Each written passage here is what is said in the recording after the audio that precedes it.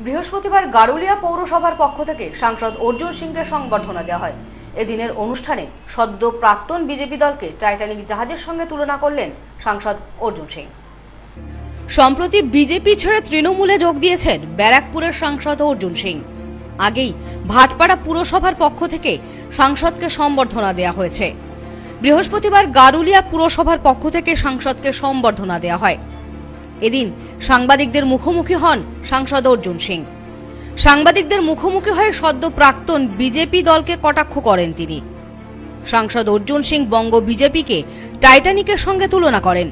তিনি বলেন, টাইটানিক জাহাজ ডুবতে সময় লেগেছিল, কিন্তু এদের জাহাজ ডুবতে বেশি সময় লাগবে না।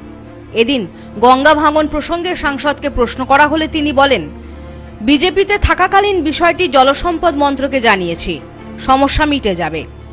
রাহুল গান্ধী ও সোনিয়া গান্ধীকে ইডির তলব প্রসঙ্গে সাংসদ অর্জুন সিং বলেন, মামলাটি অনেকদিন ধরেই চলছে।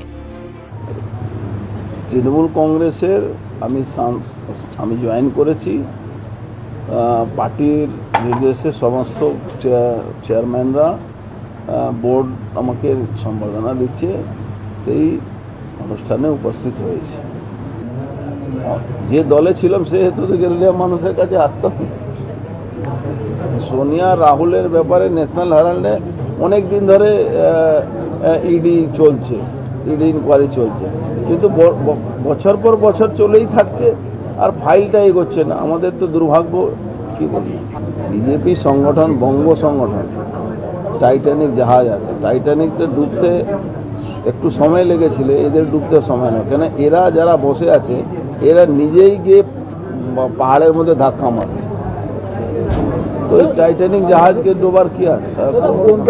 ब्यूरो रिपोर्ट न्यूज़ डोमैंसलैंड बैरकपुर।